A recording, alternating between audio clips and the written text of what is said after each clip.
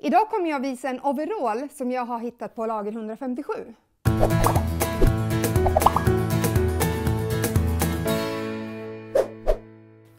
Den här kollektionen kom ut i eh, höstas, sena hösten, så egentligen har vi inte kunnat använda den förrän nu. Eh, vi har köpt den i storlek 80 till vår dotter som är ett och ett halvt år och ja, men hon är ungefär 80 cm och den sitter perfekt på henne just nu. Den har två dragkedjor som gör det väldigt lätt att eh, klä på och klä av den här. Eh, insidan är av flis och yttermaterialet är, jag skulle inte säga att det är ett vattentätt material, men jag skulle säga att det är ett väldigt vattentåligt.